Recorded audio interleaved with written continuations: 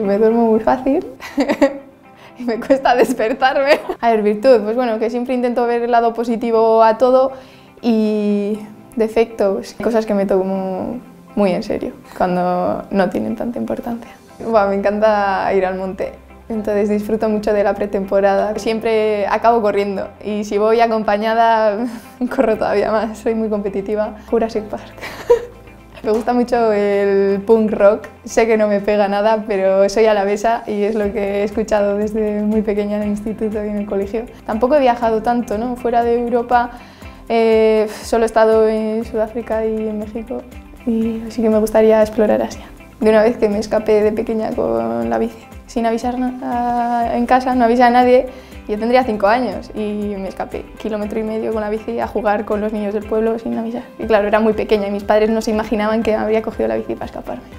Y cuando me encontraron en el pueblo me cayó una. Yo no era consciente de que hubiese hecho nada malo, yo me fui a jugar. Yo creo que es una profesión que tiene muchas salidas, ¿no? está muy vinculado al deporte.